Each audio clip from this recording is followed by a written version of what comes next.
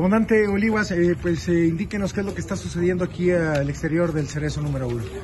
Sí, mire, muy buenas tardes para todo su público televidente. Este, mire, es una manifestación pacífica aquí al exterior del penal, nuestro centro de trabajo, por parte del personal de seguridad y custodia. Como ustedes lo ven aquí en las imágenes, es puro personal de seguridad y custodia que se encuentra franco en sus labores, el cual pues traen y traemos unas inquietudes eh, por, un pliego petitorio, unas peticiones que estamos haciendo y aparte estamos pidiendo también la institución de nuestro señor director, el licenciado Tomás Enrique Gómez Domínguez, ¿verdad? por sus malos tratos, por su nepotismo, por su despotismo que es él, ¿verdad? Y, porque aparte pues es una persona violenta el señor director, ¿verdad? En todos los sentidos.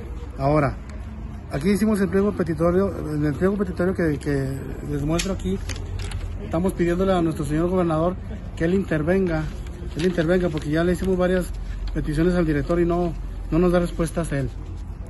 ¿Verdad? Eh, como nuestro jefe inmediato no nos da respuesta, tenemos carencia de personal, una plantilla muy baja de seguridad y custodia, el cual debemos de contar con una plantilla de 420 custodios, ahorita somos alrededor de unos 220, 240 custodios en total por los tres turnos, por los tres turnos que trabajamos, con una sobrepoblación de 4.050 personas privadas de la libertad hasta el día de hoy, cuando su capacidad es para 2000, 2007 de población, el cual esto ya rebasó ya el 100%, se puede decir el 100% de la, de la capacidad. Y esto representa un peligro para nosotros, y más que nada para la seguridad de las personas privadas de la libertad, con el cual nosotros estamos sujetos a brindar la seguridad para las personas privadas de la libertad, pero nos vemos muy débiles, muy débiles por la plantilla. Entonces yo lo que le explico al señor director, que nos explique dónde están todas las plazas. Ahorita tengo 116 vacantes, el cual no se me han cubierto por personal de seguridad y custodia, que explique dónde están esas vacantes. O, igual que se me incorporen todo el personal administrativo que está haciendo funciones de administrativo que cobran como custodios.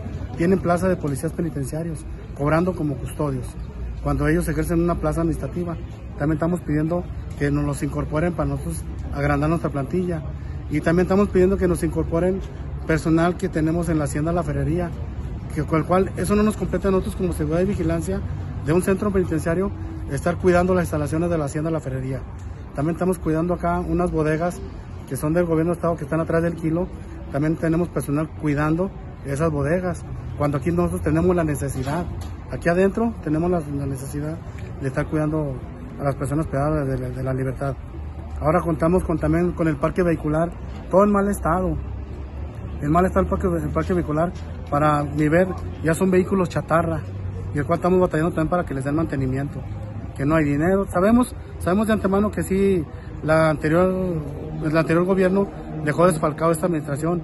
Nosotros lo entendemos perfectamente bien, pero yo tengo fe en nuestro señor gobernador que él ha hecho esto ahorita un buen trabajo y lo está haciendo está haciendo el señor gobernador un buen trabajo, que él también nos apoye en esta cuestión. Yo tengo fe que nos va a apoyar en las peticiones que aquí les voy a mostrar en el pliego petitorio para que ustedes se las hagan llegar también a él. ¿Tienen algún tiempo, comandante, para estar aquí este, indefinido, 24 horas? Aquí vamos a aparecer, estamos pidiendo que venga alguien de, gobierno, ya sea que venga el, secretario de gobierno, el, licenciado Vela. Sabemos que nuestro señor gobernador no va a venir, pero además no pueden mandarnos un representante para que nos escuche y nos, y nos dé estas peticiones. Ahora, ya, ahora sí como se dice, nos echamos un clavado ahí a, ver los archivos y el señor director no es licenciado. No es licenciado en Derecho del señor licenciado, licenciado Tomás. No cuenta ni con cédula profesional ni con título. Pueden checarlo en donde checan los, las cédulas, a ver si existen archivos de él que es licenciado. Y no es licenciado, ¿eh? No es licenciado. Entonces, es una persona que no puede estar aquí en la titularidad como licenciado en el, en el centro. Yo, yo también ahí pido que se investigue a ver por qué está, está haciendo esas funciones que no le corresponden. En caso de que no tengan esta respuesta del secretario, del director de Seguridad Pública, ¿hasta cuándo van a estar aquí? Pues hasta que tengamos respuesta. Aquí los compañeros, ellos aquí manifiestan que hasta que venga un representante del, del gobierno. Dentro de lo que están pidiendo, ¿cuál es la prioridad, comandante? La prioridad, mire, que se nos aumenten los salarios, que nos igualite igual a los salarios a las demás corporaciones. Somos la corporación mal pagada de todas las corporaciones a nivel estado. Y si usted quiere, municipio también. somos la corporación mal pagada. Sí, ahora nos dotan de un uniforme por año, cuando deberíamos nos deben de tocar dos uniformes por año. ¿Cuál es el mensaje que les da a sus compañeros por último? Yo el mensaje que les doy a mis compañeros de que cuenten con mi apoyo y los vamos a apoyar, vamos a seguir nosotros aquí en pie, hasta obtener la respuesta y no nos vamos a mover hasta obtener una respuesta positiva a nuestro pliego petitorio.